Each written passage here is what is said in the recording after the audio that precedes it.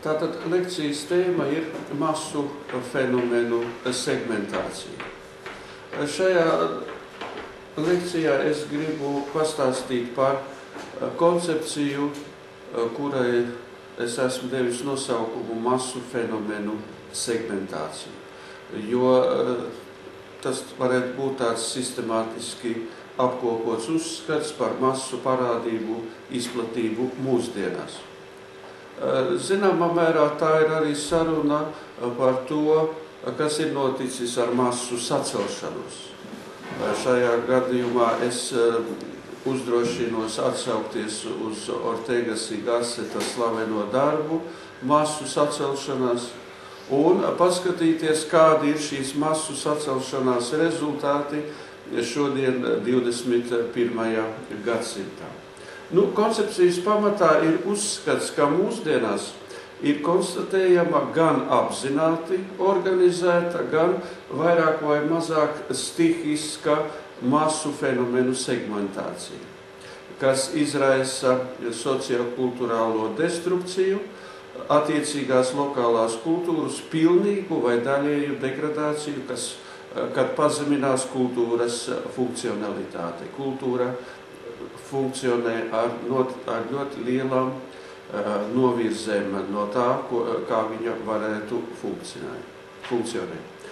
Vispirms par jēdzieniem nu, ar jēdzienu masu fenomeni eh, tiek dēvētas sociālās izpausmes, kuras kopš 20. gadsimta eh, tradicionāli mēs raksturojam ar vārdiem masu cilvēks, masu sabiedrība, masu kultūra, masu komunikācija, masu komunikācijas līdzekļi, masu produkcija, masu apziņa, kad galvenais ir epitets masas, masa un kas faktiski eh, tiek eh, novirzīts arī uz noteiktu kvalitāti un arī uz noteiktu kvantitāti. Saruna par masu fenomeniem ir saruna par noteiktu kvalitāti un arī noteiktu kvantitāti. Tas ir jāņem vērā. Savukārt ar jēdzienu segmentācija tiek eh, fiksēts masu fenomenu stāvoklis, laikā un telpā, sākot ar eh, geogrāfiskiem veidojumiem, teiksim, valsti, eh, kontinentu, planētu, un noslēdzot ar segmentāciju kultūras atsevišķās formās, piemēram, izglītībā, komunikācijā, mākslā, zinātnē, biznesā, politikā un citās kultūra, citos kultūras segmentos, noteiktā laika periodā. Tātad runa būs faktiski par masu fenomenu funkcionēšanu mūsdienu pasaulē. Kad masu fenomeni faktiski ir okupējuši noteiktu telpu un noteiktas kultūras formas. Pie tam runa būs par procesu, kas katrā ziņā turpināsies arī nākotnē. Piemēram, radikāli ir izmainījusies un strauji turpina mainīties tas, ko vēl nesen mēs dēvējām par masu komunikāciju.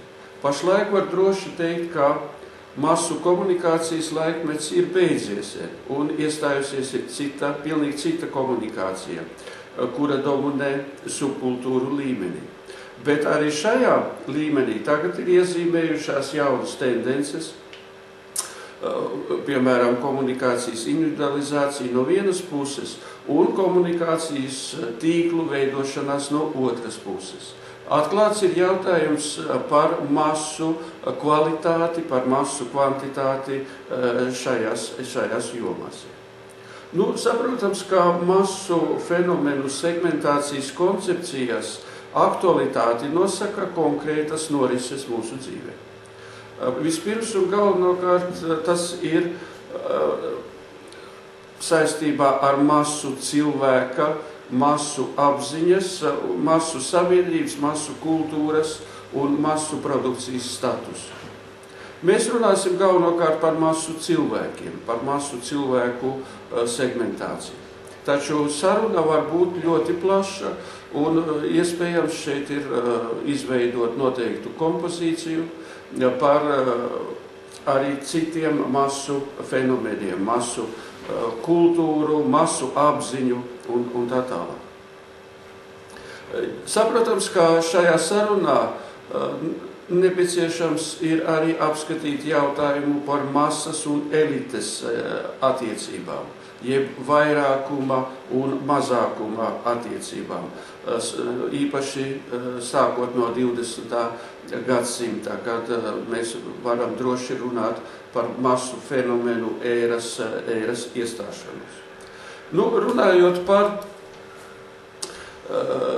šo tēmu. Pirmais jautājums ir sociokulturālie nosacījumi. Sociokulturālie nosacījumi.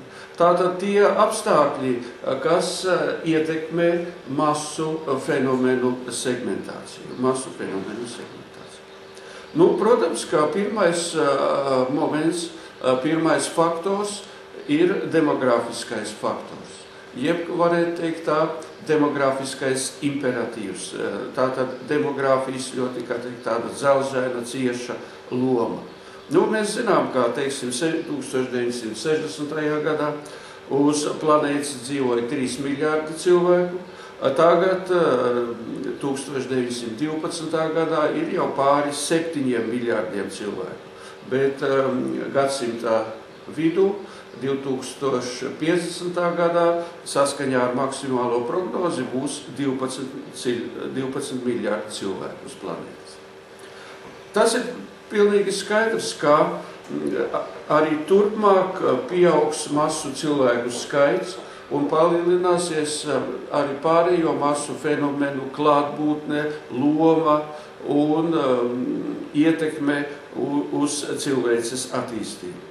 Tas ir pilnīgi skaidrs, ka no šī milzīgā iedzīvotāju skaita um, ļoti uh, liels procents ir tā saucamie uh, masu cilvēki, kuri dzīvo noteiktā uh, vidē, sev atbilstošā vidē un faktiski veido šo vidi saskaņā ar savām interesēm, ar savām, savām prasībām. Un nākotne šajā ziņā ir lielā mērā masu fenomeniem. Cilvēces nākotne 21. gadsimtā var teikt tā pārvērtīsies pilnīgā atkarībā no masu fenomeniem. Un masu fenomenu segmentācija, viss šis rēbais spektrs ļoti būtiski ietekmēs planētas iedzīvotāju, planētas iedzīvotāju dzīvē.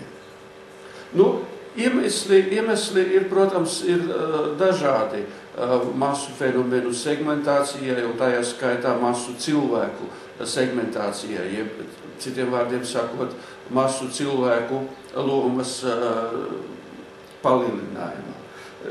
Saprotams, ka būtiska loma ir tam, ko var, kas ir attiecās uz jaunajiem masu informācijas līdzekļiem, internetu pirmkārt un galvenokārt.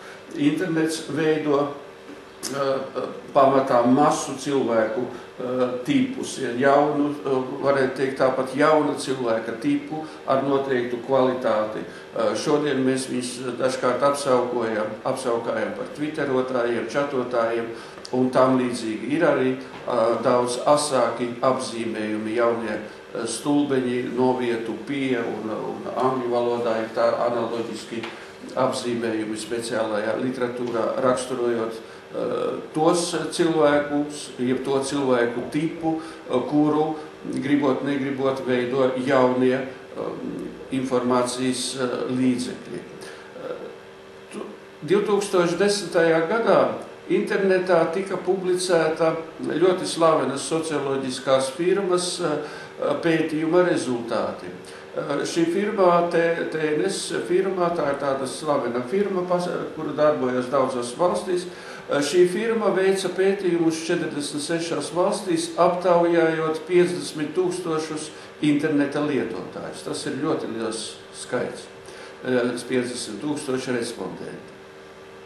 Viņi centās noskaidrot, kāda ir jauno masu komunikācijas līdzekļu un īpaši interneta ietekme atsevišķās zemēs. Nu, viņi noskaidroja, ka sociālos mēdījus uz planētas 2010. gadā visaktīvāk lietojam Malaizijā, Malaizijā, kur katram sociālo mēdīju lietotājam vidēji bija 233 eh, draugi. Nu, draugi mums arī ir Latvijā. Mēs varam, protams, uzreiz pāanalizēt, cik mums katram ir draugi draugos LV. Malaisijā katram ir vidēji 233 draugi. Pēdējā vietā, tātad vispasīvākie ir Japāņi bijuši tajā laikā. 2010. gada no beigās. Japāņiem katram vidēji bija tikai 23 draugi. 23 draugi. No Japāņu interneta lietotājiem faktiski tikai 18% izmanto sociālos mēdījus. Savukārt ķīnieši ir aktīvāki, no, viņiem, no viņu interneta lietotājiem sociālos mēdījus izmantoja 52%. Tātad relatīvi jaunā masu fenomena sociālo mēdīju attīstībā jau tagad atspoguļojas noteikta planetāra mēroga segmentācija. Noteikta planetāra mēroga segmentācija. Tātad sociālie mēdīji ne visur vienmērīgi pārklāja, pārklāja attiecīgo telpu attiecīgajās vietās. Un šī segmentācija ir dažāda, taču principā viņa eksistē. Viņa eksistē un turpina, turpina attīstīties un turpina eh, iedarboties uz kultūras eh, pārējiem segmentiem, strauji vispār adoptējoties, eh, integrējoties attiecīgās kultūras vidē vispār. Nu, ļoti būtisks moments ir izglītība, protams.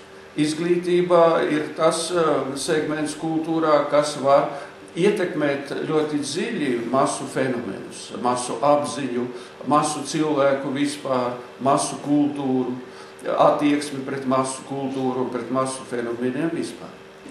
Nu, ir zināms, ka izglītībā no klasiskā, kā teikt, sava mērķa, klasiskā mērķa izglītot un audzināt cilvēkus, ir sākusi krasi novirzīties un turpina novirzīties arī, arī tagad un noteikti turpinās novirzīties. Jo tagad uh, jau ir izveidojies tā, ka masu raksturs ir ne tikai pamat izglītībai un vidējai izglītībai, kas, protams, būtu saprotams. Arī Latvijā mums bija laiki, kad visiem prasīja uh, vidējo izglītību. Tātad tā ir masveida tāda prasība, masveida parādība pati par sevi it kā objektīvi pamatot.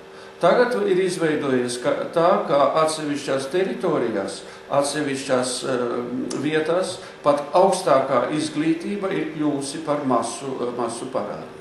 Nu, tas vis, visvairāk, diemžēl, attiecas uz Austrumu Eiropu, un tajā skaitā arī uz Latviju, Latviju, jo augstākā izglītībā ir masu raksturs un arī komerciāls raksturs, kas ir vēl jaunāk, protams. Kas ir vēl jaunāk. Tātad izglītība principā ir pārstājusi audzināt cilvēku un pārveidot cilvēku, palīdzēt viņam izprast dzīvi, palīdzēt viņam izprast procesus, jeb citiem vārdiem sakot, palīdzot viņam nu, pārvarēt masu fenomenu vilinājumus. Tagad, kā teikt, ir konstatējams, ka uh, augstākā izglītība principā um, uz pasaules vispār kļūs ar laiku masu uh, parādība, uh, ne tikai šeit Austrum Eiropā, bet arī, arī citās, citās vietās.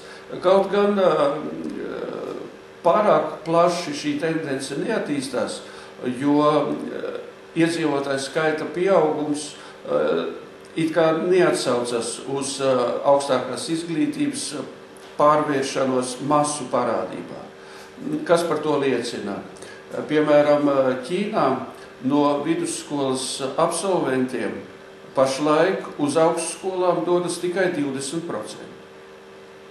No, no Ķīnas iedzīvotājiem, uz Ķīnas iedzīvotāju milzīgā skaita fona, tas, protams, ir ļoti niecīgs rādītājs.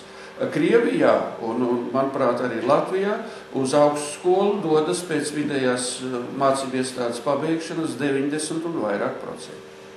Skaidrs, ka ta, tas uzreiz atsaucās uz kvalitāti, un šeit var runāt tikai par masu izglītību, par masu augstāko, augstāko izglītību. Tas savukārt nozīmē, ka mums faktiski izglītības sistēmā vairs nav neviens etaps, kad uh, kad mēs neveidojam tīri automātiski, kā saka, masu cilvēku. Jo masu izglītību var veidot principā tikai masu cilvēku. Tikai masu cilvēku, ja, ja mēs pret šīm lietām izturāmies ļoti, protams, formāli. Šeit nerunājam par to, ko katram cilvēkam, kā es saku, Dievs ir devis šūpulī, jo mēs zinām, ka te var būt milzīgs, protams, atšķirības un arī augstākā izglītība, masu augstākā izglītība tam cilvēkam, kuram Dievs ir kaut ko devis labu. Šūpulī, protams, neko daudz tur viņā nesabojās. Globalizācijas apstākļos, ekonomikā un komunikācijā, protams, ka arī veidojas masu Eh, masu teikt, telpas, masu segmentācija eh, šajā, eh, šajā ziņā attīstās ļoti, ļoti, ļoti strauji. Būtiski ir izmainījušies masu cilvēka, kā mēs sakām, sociālie kritēriji.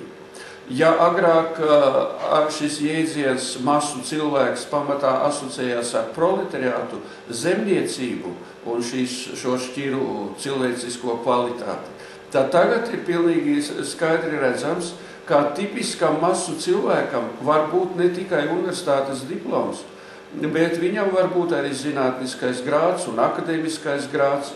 Viņam var būt silta vieta administrācijā, biznesā, garīgās kultūras iestādēs, viņš var būt pat kultūras ministrs, mācību iestādēs, viņš var būt pat valsts prezidents. Tipisks masu cilvēks ar atbilstošu kvalitāti. Var ieņemt valstī visaugstākos amatus, būt prezidents, komandēt valdību, nesāt eh, ministra portfeli un tam līdzīgi. Uz masu fenomenu segmentāciju atsaucās šodien ideoloģijas, mēdīju, ģeopolitikas, ģeoekonomikas loma mūsdienu dzīvē. Ļoti liela ietekme ir, protams, subkulturācijai, patērēšanas kultam, pakalpojumu ekonomikai. Nu, nevelti šajā ziņā filozofi raksta par cilvēku jaunas sugas veidošanos un šīs sugas dominēšanu visdažādākajos sociālajos institūtos. Noteikti ir ņemams vērā tas, par ko rakstīja um, Ortega y Gassets 20. Uh, gadsimta sākumā, fiksējot masu, masu sacelšanos tas materiāls, eh, ko publicēja spāņu izcilais filozofs, protams, ka šodien ir ļoti aktuāls. Taču mēs zinām, ka aizvadītajos simts uh, gados pētījumi par masu fenomeniem ir turpinājušies. Viņi nav turpinājušies pārāk plaši. Un šeit mēs neatradīsim daudzus autorus, daudzus darbus, taču principā viņi ir turpinājušies. Taču viņi, kā jau es teicu, ir turpinājušies, manuprāt, ņemot vērā tādu kā samierināšanos ar masu fenomenu klātbūtni. Un masu fenomeni ir pārtraukuši izraisīt kaut kādu interesi, interesi zinātnē, jo zinātne ir sapratusi, ka um, ar to ir jāsamierinās, un uh, tāda ir cilvēku dzīve. Tagad, 20. gadsimtā, tāda, tāda būs cilvēku cilvēku dzīve arī, arī turpmākie. Nu, runājot par eh, elites, elites lomu mūsdienu pasaulē, eh, eh, sarunā ir apgrūtināta tajā ziņā, jo par, par eliti ir ļoti maz informācijas. Ļoti maz informācijas. Neskatoties uz to, ka pastāv atsevišķa zinātne, elitoloģija, uh, Atsevišķās valstīs viņi ir diezgan plaši attīstīta, diezgan pat populāra ir. Taču tie darbi, kas tiek sarakstīti par elitoloģiju, vismaz tie darbi, ar kuriem es esmu iepazinies, nebūtu nesniedz, manuprāt, tādu izsmeļošu atbildi par elites stāvokli, par elites stāvokli un īpaši masu fenomenu, masu fenomenu kontekstā. Nu, runājot par eliti, ir zināms, ka elites loma, protams, uz planētas saglabājās. Elites loma uz planētas saglabājās. Viņas lomā faktiski kļūst um, varētu teikt, tā vēl tāda kardinālāka, vēl virzošāka, vēl noteicošāka no vienas puses. Elite kontrolē, elite kontrolē visu, šī elite nav liela. Piemēram, runājot par masu mēdījiem, par masu komunikāciju vispār uz planētas, ir labi zināms, ka šodien, labu jau laiku, vismaz kādus 20 gadus, visu šo komunikāciju pārzina sešas lielas korporācijas sešas lielas korporācijas, tā saucamie mēdīju giganti. Viens no viņiem arī News Corporation, arī eh, Latvijā centās eh, kaut ko nopirkt, un, un kā es sapratu, pēc tam eh, gan pārdeva, pārdeva atkal citiem. Šie seši lielie mēdīju giganti kontrolē visu planētu un var būt ļoti būtiski ietekmēt masu fenomenu attīstību, masu fenomenu segmentāciju. Taču šeit ir pilnīgi skaidrs, ka pats svarīgākais jautājums ir par viņu interesi attīstīt masu fenomenu segmentāciju. Jo ir bez konspiroloģijas dažādām konstrukcijām ir skaidrs, ka elites eh, interesēs jau labu laiku, 20. gadsimtā, ir attīstīt masu fenomenus. Masu fenomenus, kā teikt, ehm, virzīt un, un, un, un censties panākt, lai nedomājošu cilvēku, nedomājošu parādību, primitīvu parādību eh, skaits būtu un izplatība būtu arvien, arvien lielāka. Runājot par elites lomu, Noteikti gribu minēt to, to, tos datus, kādi ir pieejami, proti par šiem sešiem milzīgajiem mēdīju gigantiem. Šos sešus mēdīju gigantus principā pārzina visaugstākajā līmenī 57 cilvēki. Tā tad var teikt tā, ka pasaules mēdīju telpu, pasaules mēdīju dienas kārtību katru dienu nosaka 57 cilvēki. 57 cilvēki. Nu, mēs, ja kāds vēlas, var, var pareiķināt, cik tas ir procentu no septiņiem un vairāk miljārdiem planētas iedzīvotāju.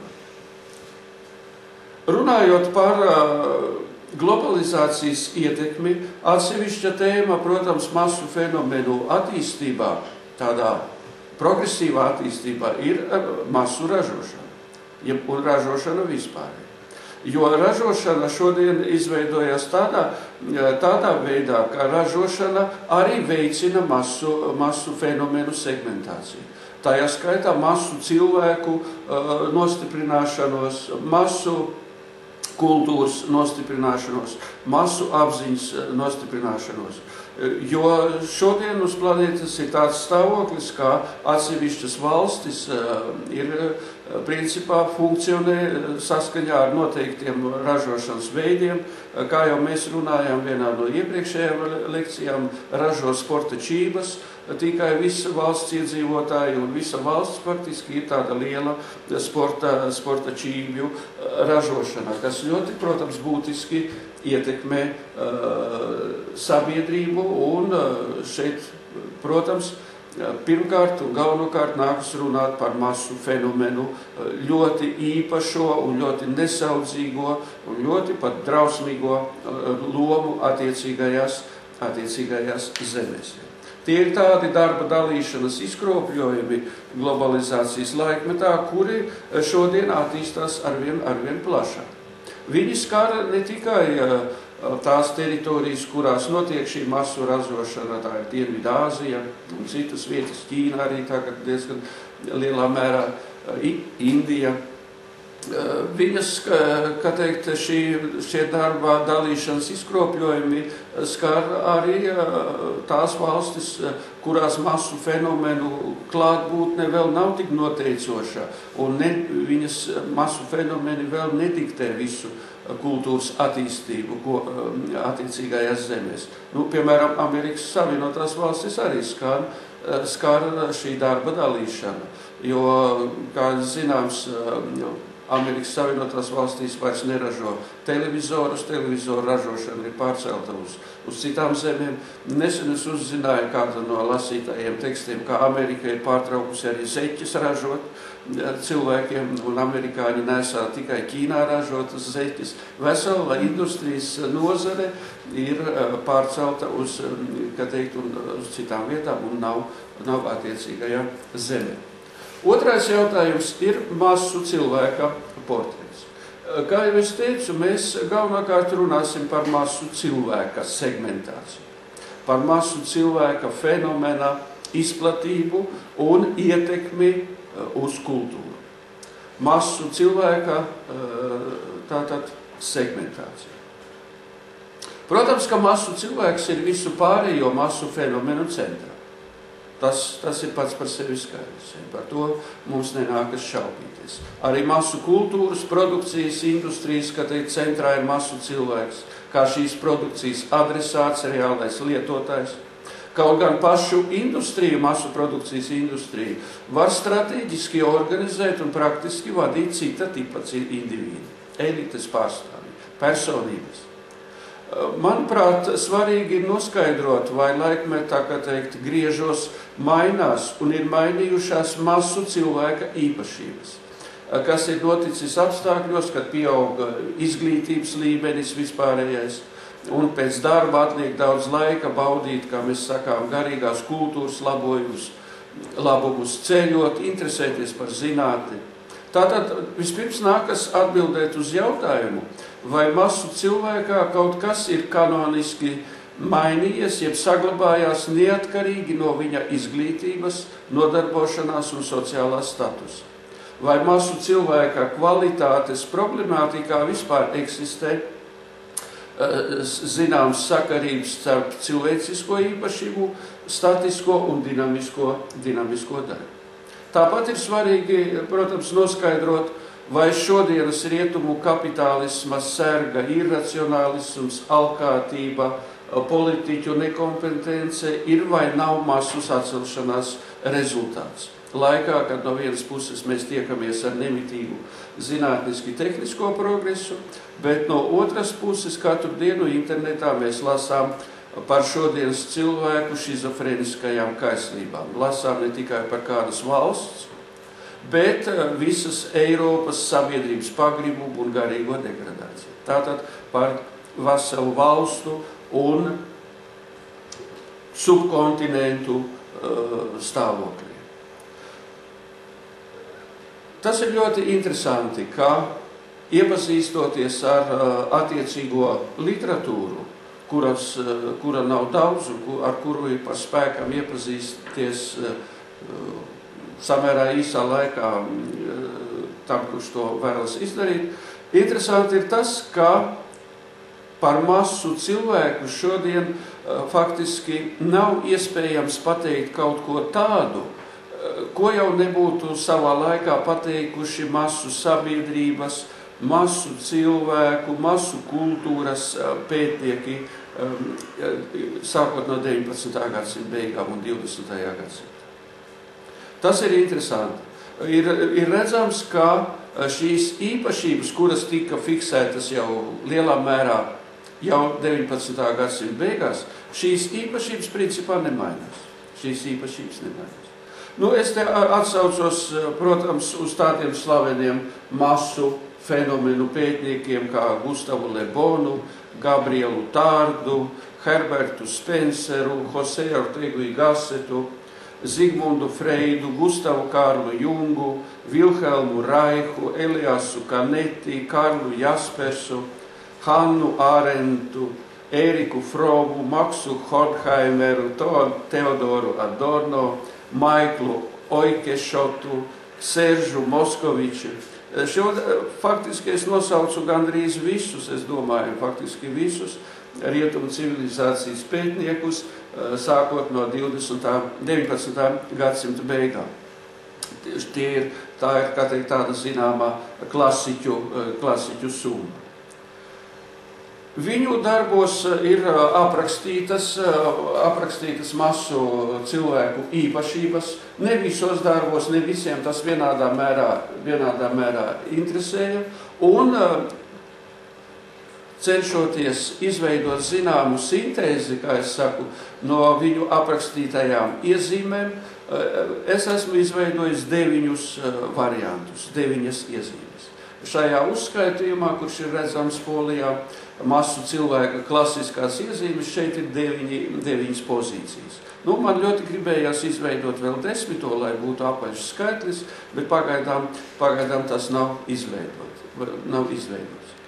Par katru no šīm deviņām pozīcijām, protams, ka var nolasīt atsevišķu lekciju.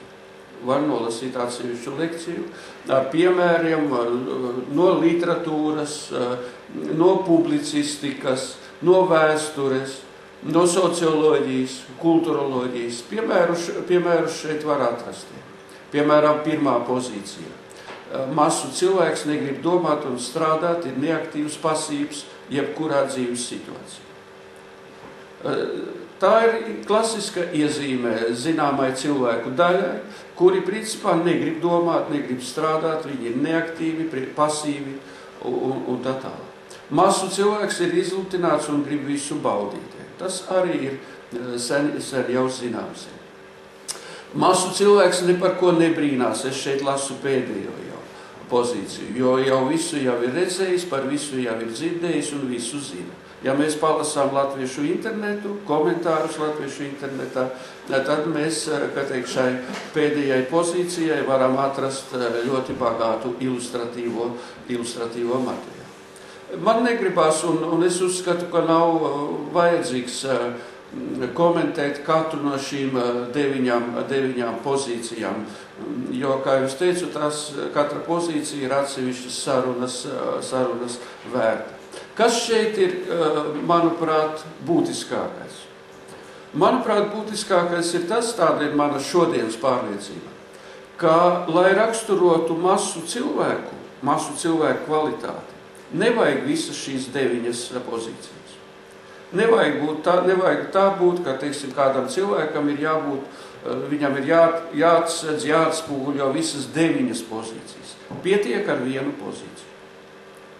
Manuprāt, tas ir visinteresantākais. Tā es pašlaik domāju. Visinteresantākais, jo faktiski pietiek ar vienu pozīciju. Teiksim, masu cilvēks vienmēr ir pašapmierināts un pašpārliecināts. Pietiek ar šo vienu pozīciju, lai mēs jau saprastu, ka mēs tiekamies ar masu cilvēku. Teikt, ka tāda, tā ir tāda ļoti interesanta, interesanta konfigurācija. Interesanta konfigurācija. Trešais jautājums ir masu cilvēka izcelsmes problemātika. Nu, mēs virzāmies, varētu teikt, no otra gala. Uh, uz, uh, jo mēs vispirms fiksējām, kas ir masu cilvēks, kādas ir viņa īpašības. Mēs fiksējām šīs deviņas pozīcijas, un tagad mēs cenšamies noskaidrot, kā tas viss ir vēsturiski radies un, un kāds tam ir bijis vēsturiskais, vēsturiskais sākums. Šai tēmai ir pievērsušies daudzi, daudzi no minētajiem klasiķiem, Um, pievērsušies. Ir arī citi, kurus es šajā uzskaitījumā neesmu, neesmu minējis, bet principā es esmu izmantojis viņu, viņu darbus, uh, teiksim, Zigmandu Baumani, sociologu slaveno. Masu cilvēkā un vispār cilvēku ģenēzei no tādā kvalitatīvā viedokļa uh, ir pievērsušies daudz, daudz cilvēku. Taču, atkārtoju, viņu skaits arī nav, arī nav liels. Iemesls, iemesls varētu būt arī tāds, ka šī tēma ir nevisai patīkama. Viņa ir saistīta ar, ar nekorektu sarunu, jeb kā mēs sakām, nepolitkorektu sarunu, jo nākas runāt par cilvēku kvalitāti, Un tā ir tāda saruna, kas var daudziem nepatikt, un, un tā saruna ir noteikti neērta. Un te ir tas stāvoklis, kāds ir mūsu dzīvē diezgan bieži, kad mēs it kā visus, ka teikt, mēs visu saprotam, visam piekrītam, bet par to nerunājām. Mēs mm, balstamies uz kaut kādu neformālu vienošanos, uz klusu, klusu neformālu vienošanos, ka tā tas ir, un, bet nes, neuz, neuzsākam nekādas šeit debatas. Debates un zinātniska diskusija un zinātniskā analīze šeit ir apgrūtināta arī tajā ziņā, ka tas ir psiholoģijas jautājums jeb, jeb tas ir jautājums par cilvēka garīgajām parādībām, garīgajiem fenomeniem, kurus pētīt var tikai uh, aprakstoši, var tikai, nevar šeit pielietot nekādas tādas stingras zinātniskās metodes, nekādus statistiskos datus un, un tam līdzīgi. Šeit šī saruna par masu cilvēka kvalitāti ir, uh, ir, ir šajā ziņā arī apgrūtināta. Cita lieta ir eh, saprotams par masu cilvēka kvantitāti. Un šajā gadījumā eh, šī saruna ir vienmēr bijusi, un šeit arī pastāv vairākas eh, gradācijas. Tiksim, viens ir pūlis, jēdziens pūlis, ko par ap pūli ir milzīga zinātniska saruna. Otrs jēdziens ir masa, masas zinātniska saruna. Šeit, piemēram, ir aktuāli, aktuāls jautājums, no cik cilvēkiem ir jābūt, lai sāktos masa. Nu, ir skaidrs, ka ar, ar vienu cilvēku nepietiek, bet divi cilvēki, trīs cilvēki, kad, kad, kad teikt, no, kāda kvantita, no kādas kvantitatīvās robežas mēs varam runāt par masu. Tāpat tās ļoti svarīgs jautājums, un par to ir daudz arī uzrakstīts, un daudz kas ir saprasts, mas, masas un pūļa atšķirība. Šeit ir ļoti plaša diskusija. Ir cilvēki, kas ļoti strikti nodala jēdzienu pūlis un no jēdziena masas. Saprotams, ka ir milzīga saruna un bijusi un turpināsies arī noteikti turpmāk par to, kas notiek ar cilvēku, kad viņš nonāk pūļa vidū, nonāk masā. Ir, ir labi zināms, ka cilvēks izmainās, nonākot kādā kolektīvā, kuru mēs saucam vai nu par masu, vai, vai, par, vai par pūli, ko mēs varbūt katrs esam savā ziņā izjutuši. Ļoti interesantus darbus šajā ziņā par masu cilvēku izcelsmi ir uh, sarakstījis angļu zinātnieks Oikešots, tas ir tāds mūsdienu zinātnieks. Arī Jungam, Junga darbos var atrast interesantas lietas. Un uh, Zigmunds, Zigmunds Baumans uh, ir socioloģiski analizējis tā saucamo, kā viņa terminoloģijā, individu un anti-individu attīstību. Nu, abi, abi no šiem zinātniekiem samērā vienprātīgi uzskata, ka, par, ka masu cilvēki principā no kvalitatīvā viedokļa ir bijuši vienmēr. Masu cilvēki ir bijuši vienmēr cilvēces vēsturē, taču viņi ka, un, sāk šo sarunu tomēr no jaunajiem laikiem, no Eiropas jaunajiem laikiem, kad viņi, kā saka, lietojot angļu valodā, masmē, eh, sāka rasties šis eh, jēdziens un, un, un nākas runāt par masu, masu, cil, masu cilvēkiem eh, un viņu, viņu lomu. Kāda, kas ir šīs izcelsmes raksturojumā tāds svarīgākais? šīs izcelsmes ra, ra, raksturojumā svarīgākais ir tas, kā tiek pamatota tā saucamo anti-individu veidošanās un viņu lomas, viņu lomas nostiprināšanos. Ir zināms un vēsturiski uh, tas, ka jaunajos laikos cilvēka jeb indivīda iespējas kļuva arvien plašākas. Katrs indivīds varēja izvēlēties savu ceļu mākslā, zinātnē, literatūrā, filozofijā, tirdzniecībā, rūpniecībā, lauksaimniecībā, politikā. Taču ir zināms, ka tajā pašā laikā bija arī tādi cilvēki, kuri nespēja kaut ko noteiktu izvēlēties un attiecīgajā jomā sasniegt zināmu radošo vai intelektuāli profesionālo pakāpi. Bija arī tādi cilvēki. Viņu izvēli kavēja visdažādākie apstākļi, un tajā skaitā arī radošā un intelektuālā potenciāla trūkums viņos. No vienas puses apzinoties um, iespēju brīvi izvēlēties dažādas profesijas un vispār veidot savu dzīvi. Un no otras puses, apzinoties arī savu aprobežotību, šie cilvēki pret brīvību, šo izvēles brīvību un garantijām, sāka izturēties ar naidu. Mēs zinām, ka masu cilvēks principā tā arī ir viena no viņa klasiskajām īpašībām - nevīla izvēles brīvība. Nevīla izvēles brīvība ne tikai nemīl, bet izturas arī ar naidu. Viņi ar naidu sāk izturēties arī pret sev līdzās dzīvojošajām personībām, tiem individiem ar augstu radošo un intelektuālo potenciālu. Ar augstu radošo un intelektuālo potenciālu. Jaunajos laikos šie cilvēki, kā teikt, kaut kādā veidā nu, nespējot realizēt sevi, viņi sāka meklēt aizstāvību. Viņi sāka meklēt aizstāvību. Un tas ir ļoti interesanti, ka jaunajos laikos aizstāvību viņi atrada valsts varā. Valsts varā. Valsts vara principā jaunajos laikos kļuva par masu cilvēku galveno aizstāvu. Un tā tas ir arī šodien. Tā tas ir arī šodien. Turklāt masu cilvēki redzēja, ka viņi valsts sabiedrībā ir vairākumā. Viņi redzēja ļoti labi un arī tagad redz, ka viņi principā ir tīri kvalitatīvajā, kvantitatīvajā vairākumā. Viņi ir veido sabiedrības galveno daļu. Un tas viņus vēl vairāk iedvesmo nostiprināt savas pozīcijas dzīvē. Nu, kā mēs zinām, masu uh, cilvēku viena no klasiskajām iezīmēm ir milzīga konsolidācija. Masu cilvēki ir ļoti konsolidēti cilvēki.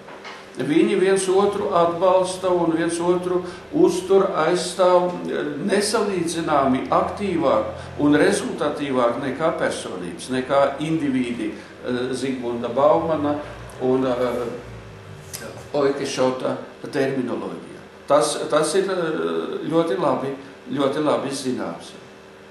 Nu, demografiskā sprādziena ietekmē 19. gadsimtā, kad, kā mēs zinām, Eiropieši izšāva visu savu demografisko pulveri un, un simts gadu laikā palielināja Eiropiešu iedzīvotāju skaitu trīs reizes kas bija salīdzinot ar iepriekšējiem laikiem ļoti krass tāds izrāviens. Skaidrs, ka šis demografiskais sprādziens nostiprināja anti-individu pozīcijas. Nostiprināja anti-individu pozīcijas. Viss tas veidojās saistībā arī ar ražošanas attīstību. Mēs zinām, ka 19. gadsimta beigās uzplauka proletariāta loma. Un Eiropā Eiropā masu cilvēks eh, eh, kļuva par, par galveno cilvēku.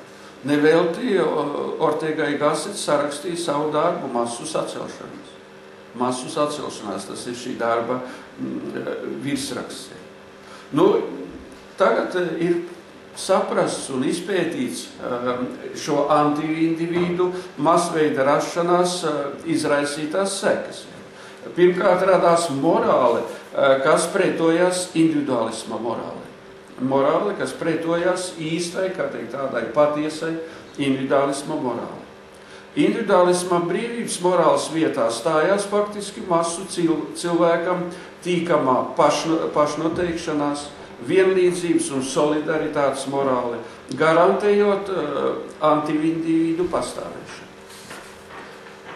Kas ir šī morāla? Šī morāla, protams, ir vairākuma morāla vairākuma morāle. Tā ir morāle, uh, kuru latviešu cilvēki pazīst uh, sakarā ar slaveno vecāku, vec, vecāku pamācību. Bērniņi uzvedies tā, kā visi pārējie necenties izlekt no savas vides. Šī morāle ir, protams, vairākumam ļoti, ļoti izdevīga, un šī morāle nostiprinās. Šī morāle nostiprinās, šo morāli palīdz um, nostiprināt valsts. Otrkārt, radās varas formas un institūti, kas kalpoja faktiski masu cilvēku prasībām un, un faktiski sekmēja masu cilvēku producēšanu pēdiņās. Valsts, kā jau es teicu, valsts formas un valsts institūti. Radās tas, ko mēs saucam par tautas valdīšanu. Par tautas valdīšanu. Tā ir varas forma, kas kas ir izdevīga masu cilvēkiem. Vēsturiski šīs formas ieviešana sākās ar vispārējo vēlēšanu tiesību piešķiršanu pilngadīgajiem cilvēkiem. Masu cilvēks spēks mm, ir viņu skaitā. Tāpēc vēlēšanas varēja nodrošināt principā masu cilvēku aizstāvību un intereses. Tas pirmkārt. Otrkārt, izbaidījās parlamenta deputāta tips. Parlamenta deputāta tips. Deputātam bija jābūt nevis neatkarīgam individam, bet gan mandāta lietotājam, kur uzdevums ir kalpot principā masu cilvēkiem, saviem vēlētājiem. De, de, deputāts ir spiests izpatikt nevis kaut kādiem atsevišķiem tur individiem, personībām, bet viņš ir spiests izpatikt masu cilvēkiem, masām, masu, masu vēlētājiem, kuri ir ļoti konsolidēti un, un, un, un viņu viņa rīcību vada. Un šī, šis process mūsdienās ir sasniedzis ļoti, kā teikt, rafinētu līmeni, ļoti rafinētu līmeni. Treškārt, sāka organizēt masu politiskās partijas, kuru biedru vairākums bija parasti tipiski masu cilvēki. Masu cilvēki. Tagad mums ir labi zināms, ka masu cilvēku uh, minētais segments ir jau parlaments, politiskās partijas, kas, kas attīstījās līdz mūsdienām un noteikti arī turpinās uh, attīstīties. Jo šodien atsevišķas personības runā par politiskās varas institūtu degradāciju, tad, tad šai degradācija iemeslu nākas meklēt pirmkārt un galvenokārt minētās segmenta ģenēzē. Jo šie segmenti, parlaments, politiskās partijas, ir nonākušas pilnīgā masu cilvēku, masu cilvēku pakļautībai.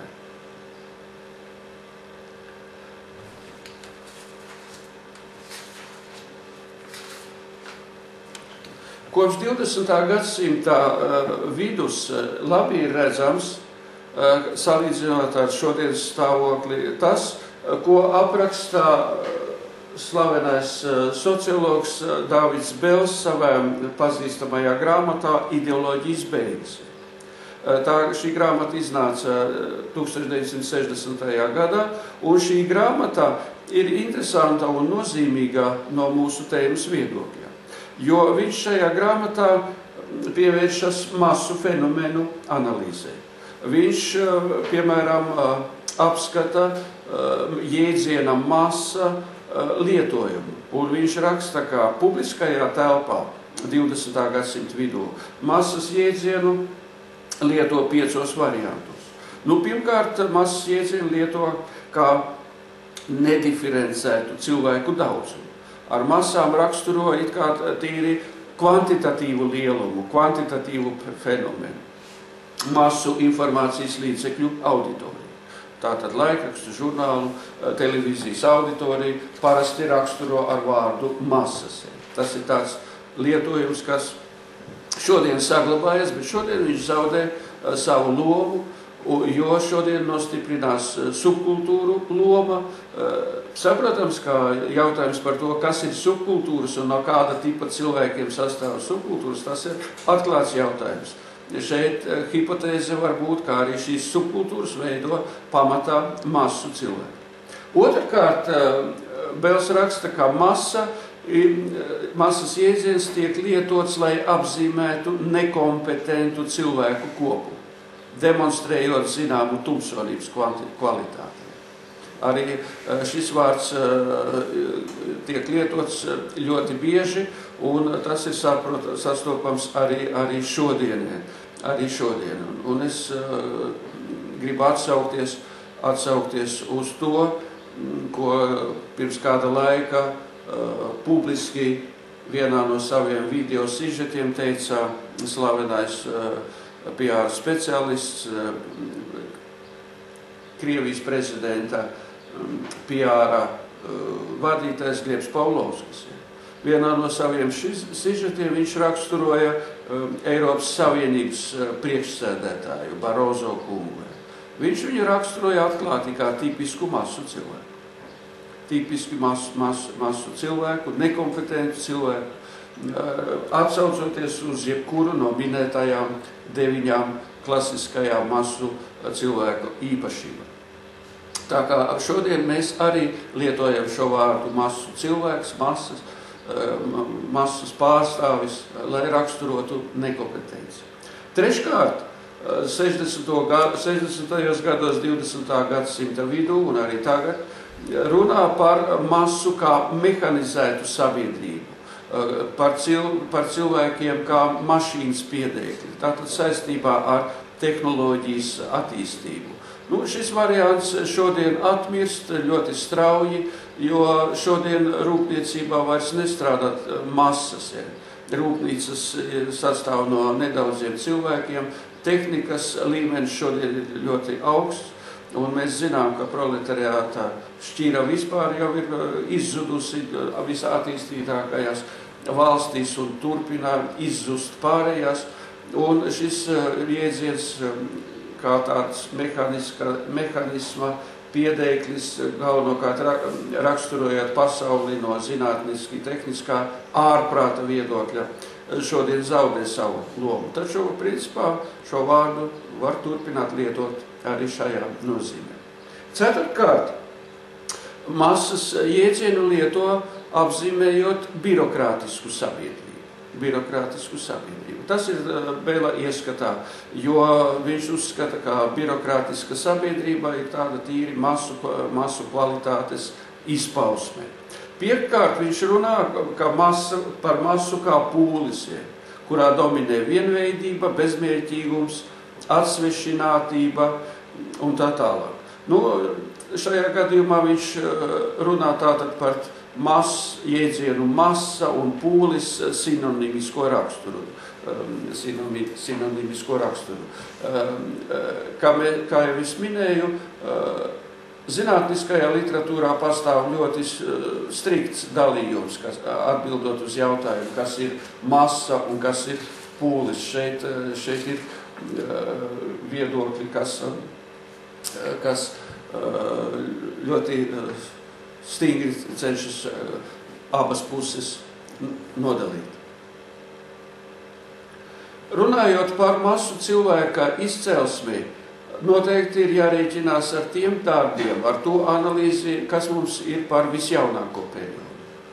Proti par 20. gadsimta beigu periodu, par to periodu, kuru mēs saucam par postmodernisma laikmetu. Tātad tie ir chronoloģiski par laiku no 70. gadiem, no pagājušā gadsimta 70. gadiem. Tie ir pēdējie apmēram 40, 40 gadi. Nu, šo paudzi un šo, šo laikmetu un šī laikmetā eh, cilvēkus eh, šodien raksturo ļoti nesaudzīgi. Raksturo ļoti. Eh, grūti ir pateikt, vai vispār ir kāda, kāds, kāda daļa attiecīgajā literatūrā, kur, kurā par šo laikmetu un par šī laikmeta cilvēkiem runātu, es teiktu tā, maigi un, un saudzīgi dominē ļoti nesaudzīgi apzīmējumi, ļoti nesaudzīgi secinājumi un ļoti nesaudzīgas arī prognozes. Karels Vasjāns vispār runā par infantīlās kultūras paudzi. Infantīlās kultūras paudzi. Šeit viņš galvenokārt domā jaunos cilvēkus, um, kuri nododas tikai sev, sava ķermeņa un savu baudu uh, uzturēšanai. Viņu ķermenis uh, ir, eh, ka teikt, nav vispār pieskaņots stingram režīmam, disciplīnai un tam līdzīgai.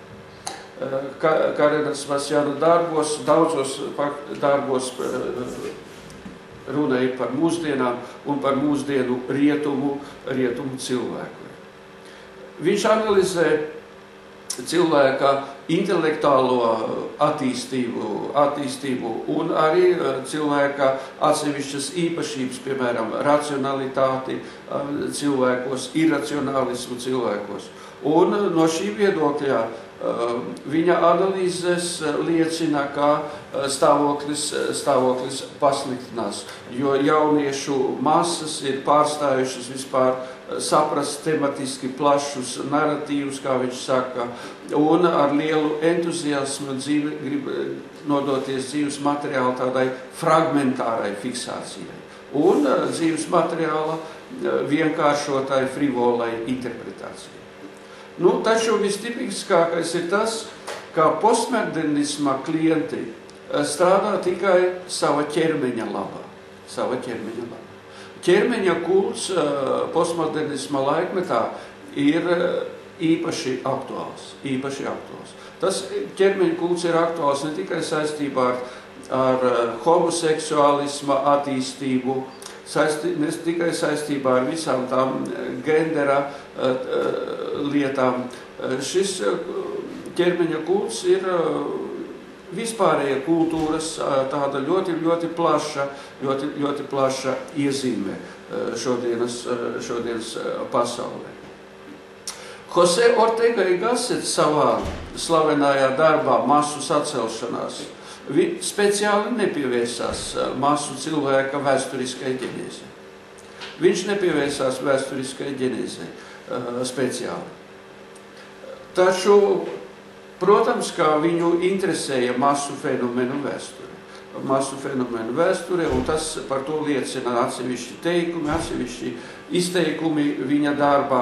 Un, tomēr kopumā šis darbs vairāk konstatē to, kas bija noticis, proti konstatē šo masu, masu sacelšanos. Un viņš to ļoti, ļoti o, o, emocionāli apraksta savā darbā minot skaitļus, minot skaitļus, Eiropas iedzīvotāju skaita pieaugumu trīskāršo. Tāpat tās minot to, ko cilvēki izjūt, nonākot sabiedriskās vietās, nonākot vilcienā, nonākot kafejnīcās, nonākot pat baznīcā, staigājot pilsētu, kā visapkārt ir cilvēki, cilvēki, cilvēki, un cilvēku skaits ir, ir ļoti, ļoti liels.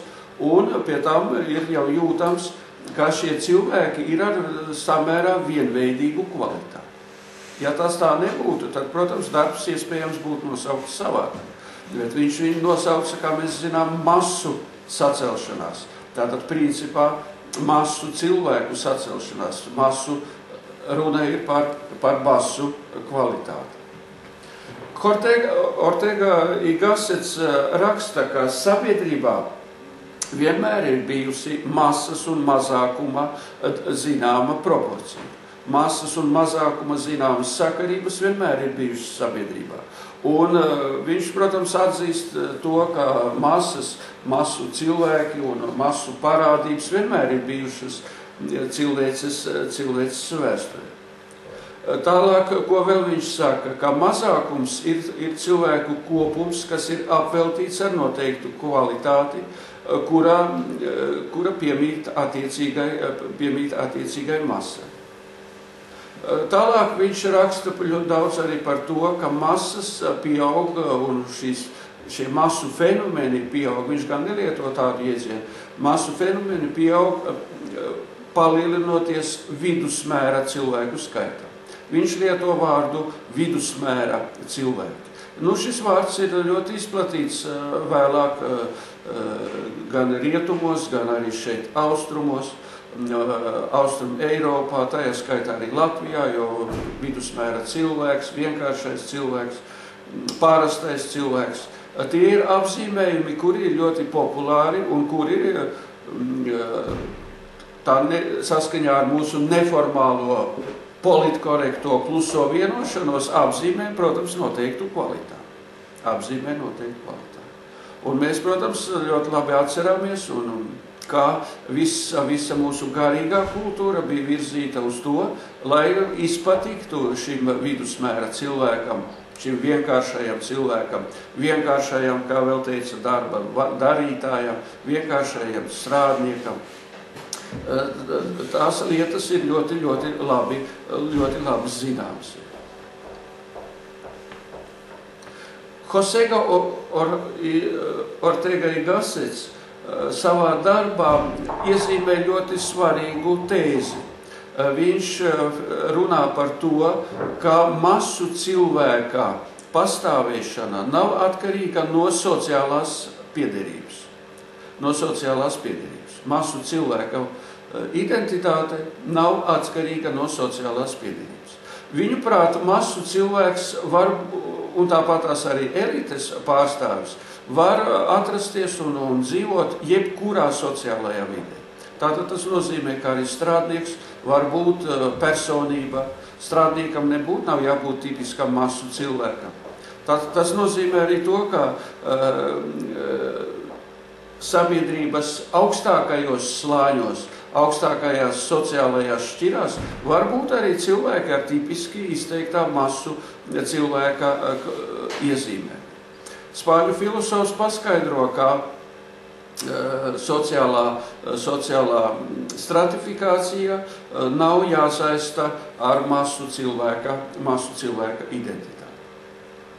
Viņš savā darbā iezīmē vēl vienu ļoti būtisku pavērsienu, kas ir aktuāls arī šodien. Proti, viņš runā par demokrātijas un liberālisma lomu masu fenomenu segmentācijā. Demokrātijas un liberālisma loma masu uh, fenomenu segmentācijā. Viņš skaidri un gaiši raksta, ka demokrātijas un liberālismā ideoloģija ļoti lielā mērā veicina uh, masu sacelšanos. Uh, palīdz nostiprināties masām, palīdz nostiprināties daž, masu kultūrai, masu, masu citiem, citiem fenomeniem. Par to viņš raksta, raksta savā darbā ļoti, ļoti skaidri un ar ļoti lielu intelektuālo perspektīvu. Kā jau es teicu, šī, šīs tēzes ir, un, un arī minētā tēze pēdējā ir ļoti, ļoti aktuāla. Ceturtais jautājums - masu fenomenu, ja masu segmentācijas ziedu, ziedu laiku. Nu, par masu fenomenu segmentācijas ziedu laikiem droši var apzīmēt 20. gadsimta beigas. 20. gadsimta beigas, manuprāt, ir tas laiks, kad masu fenomeni un īpaši masu cilvēki sāk pārklāt visu dzīves telpu attiecīgajā teritorijā. Pārklāt visus eh, kultūras, visus kultūras segmentus, sākot eh, pieņem, pieņemsim no ar parlamentu, ar valsts prezidenta institūciju un eh, beidzot ar kaut kādām biznesa, biznesa struktūrām, nelielām, vidējām vai mazām biznesa, kā vēlaties. Eh, šis, šie ziedu laiki sākās, sākās no 19. gadsimta beigām. Iemesli šeit ir visdažādākie. Iemesli šeit ir visdažādākie. Protams, ka pirmais un viens no galvenajiem, pats galvenais varbūt iemesls ir demografiskais iemesls cilvēku skaita palielināšanās, cilvēku skaita palielināšanās. Tas atsaucās, neskatoties uz to, ka Baltie cilvēki izmirst un dzīvo ar citu, citu loģiku un dzīvo ar, teikt, ar savu beigu, ar savu gala izjūtas loģiku. Tas arī veicina, protams, masu fenomenu segmentāciju. Jo ir pazudis gars, tas virzošais teikt, spēks, kas ir nepieciešams progresīvai darbībai, kas ir nepieciešams personību darbībai. Uh, personības zaudē iespēju paši realizēties, pielietot savu enerģiju. Un tēlēni izsakoties balto cilvēku acis, kļūst ar vien uh, apātiskākas, ar vien, kā teikt, tādas tumšākas, ar, ar vien uh, mazāk tajās ir kaut kādas eh, dzirkstis, eh, kā teiktu dzēnieki. Um, tātad balto cilvēku gars, jeb kā sacīja Jēzus Gumiļovs, um, pasionaritāte samazinās. Un tas veicina masu fenomenu nostiprināšanos. Īpaši masu cilvēku iespējā, iespējas pārņemt visu kultūru, visas kultūras segmentus. Jo masu cilvēki, kā, kā jau mēs eh, runājām pašā sākumā, var būt ar, ar, ar, ar izglītību, viņi var mm, būt ar grādiem un tā tālāk un tam līdzīgi. Un šodien mm, pastāvot visai šai, kā teikt, šīs enerģijas, enerģiskumā, zudumam, gara zudumam. Masu cilvēku iespējas, protams, tikai pieaug un tikai pieaug. Šie cilvēki ir konsol, konsolidāri, viņi atbalsta viens otru. Un, kas ir ļoti, ļoti svarīgi. Viņi ne, neciena un nemīl un naidīgi izturas pret personību. Anti-indivīdi neciena un, un vajā un pat, kā teikt, individus.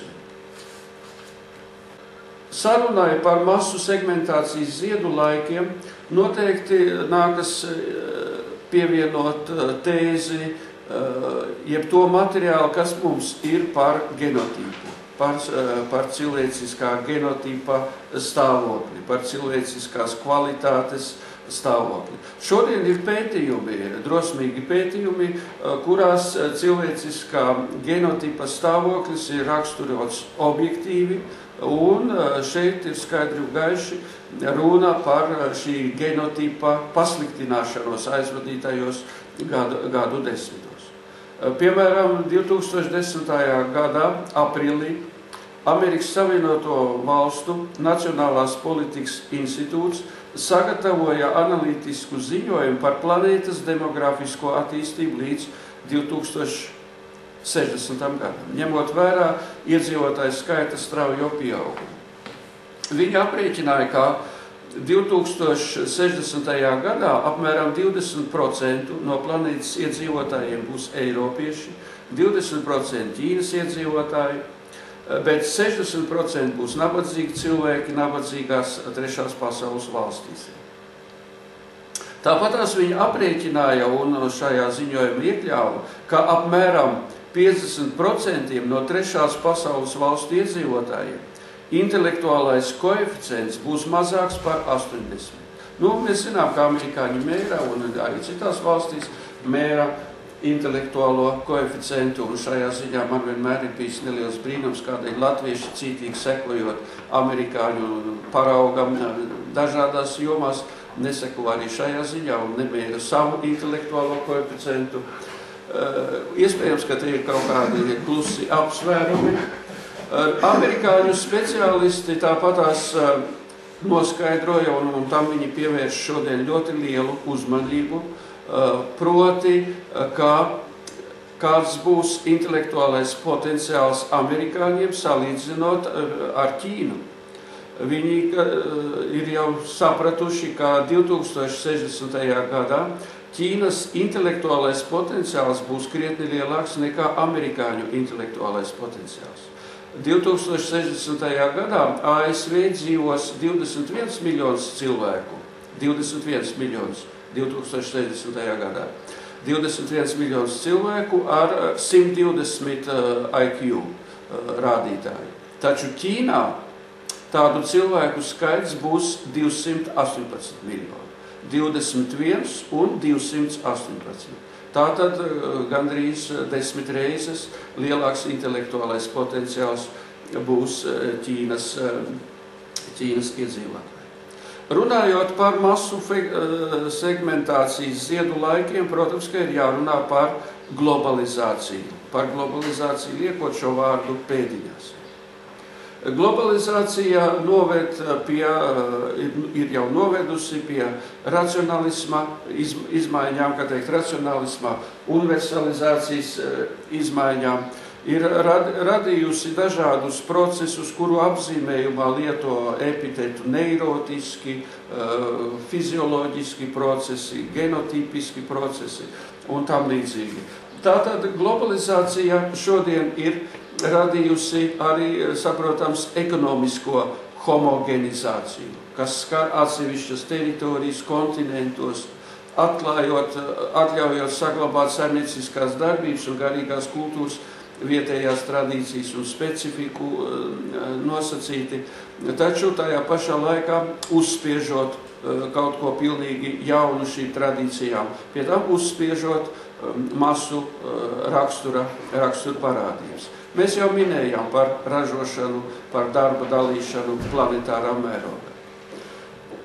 Otrakārt, planetārā globalizācija šodien ignorē lokālo specifiku lielā mērā. Un lokālo specifiku tiek, lokālā specifika parasti tiek noklusēta, un globalizācija priekšroku dot unifikācijai. Visu, visu, visādās jomās unifikācija ir saprotams kā ļoti, ļoti izteikta. Ļoti izteikta.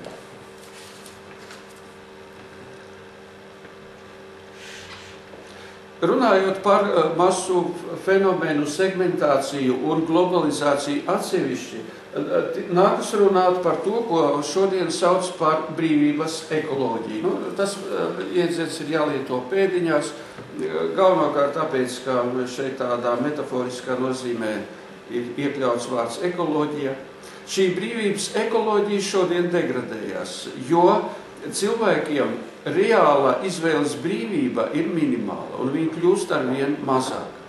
Jo reālā izvēles brīvība faktiski cilvēkiem nav liela. Un indivīds ir spiests ar, ar to rēķināties, jo brīvais, tā saucamais brīvais darba tirgus, uz ko it kā daudzi liek cerības,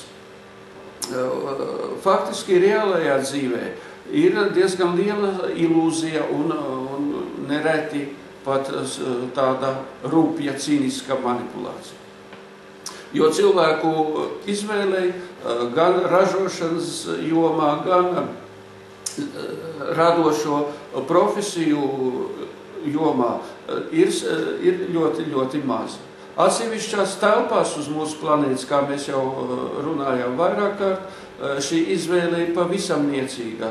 Jo kāda var būt izvēle zemēs, kurās faktiski specializējas sporta apavu, apavu ražošanā, vai kurās vispār ir ražošana, rūpniecība, lauksaimniecība ir likvidēta gandrīz simtprocentīgi. Kas vēl ir noteikti jāpiemina? noteikti ir jārunā par intelektuāļu likteni. Par intelektuāļu likteni. Jo šis liktenis, saprotams, ļoti dziļi atsaucas uz masu segmentācijas perspektīvām vispār. Jo skaidrs, ka tas spēks, kas uz planētas var ierobežot masu segmentāciju, tas spēks ir, protams, indivīdi, personības, intelektuāli. Jo šīs, šos procesus var uh, intelektuāli ierobežot. Apgaismības projekts, uh, tā saucamais Eiropā, jaunajā no kāda 17. gadsimta, kurš tagad faktiski beidzis eksistēt. Apgaismības projekts, protams, ka bija intelektuāļu cenšanās m, ka, darīt kaut ko labā m, uh, no masu fenomenu kontekstā. Uh, kontekstā neļaujot masu fenomeniem attīstīties, nostiprināties. Jo saprotams, ka cilvēkiem, intelektuāļiem bija skaidrs, ka tā ir kvalitāte, kas nav vajadzīga un kas, kas neko labu jebkurā gadījumā nevar dot. Intelektuāļu, intelektuāļu stāvoklis uz planētas rietumu civilizācijā, Eiropā, atsevišķās valstīs pasliktinās. Par to šodien runā, runā atklāti. Nu, viņš pasliktinās eh, tādējādi, tāpēc, ka ir no otras puses šī masu fenomenu segmentācija. Masu cilvēki pārņem eh, kultūru, pārņem valsts dzīvi totāli, un skaidrs, ka intelektuāļiem tajās teritorijās vairs nav ko darīt.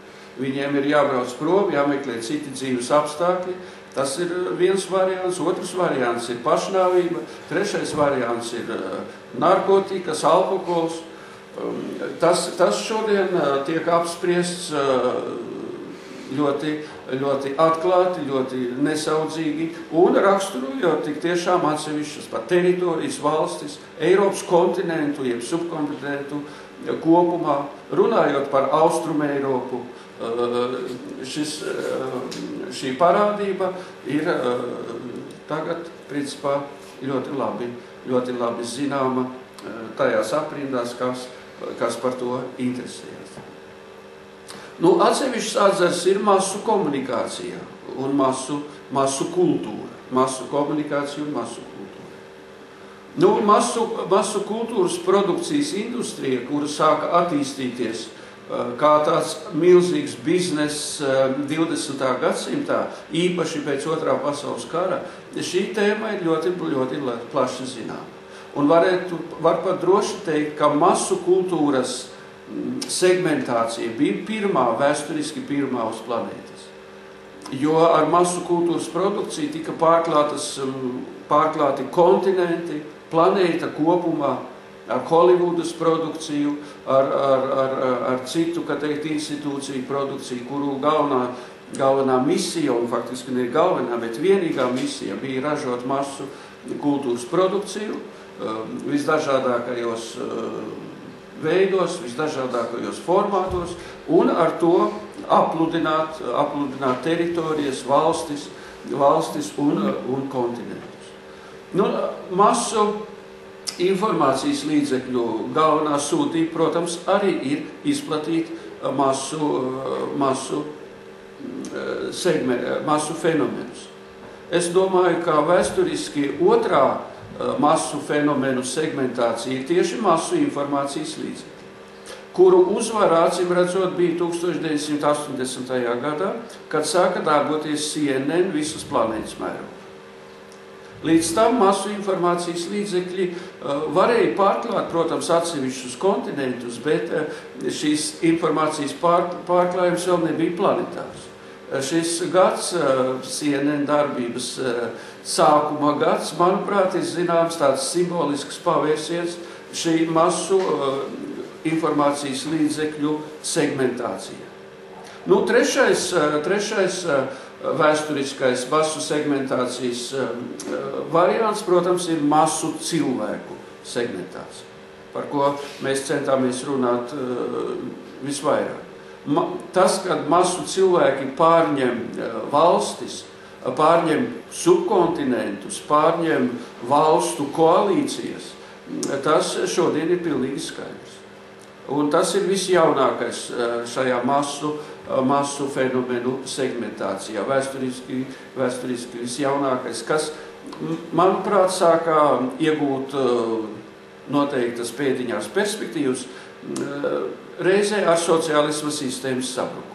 Reizē ar sociālisma sistēmas sabrukumu. Sociālisma sistēmas sabrukumam ir visdažādākās sekas, un tajā skaitā arī masu cilvēku milzīgās iespējas. Masu cilvēks ieguva milzīgas jaunas, jaunas iespējas, un tas no vienas puses.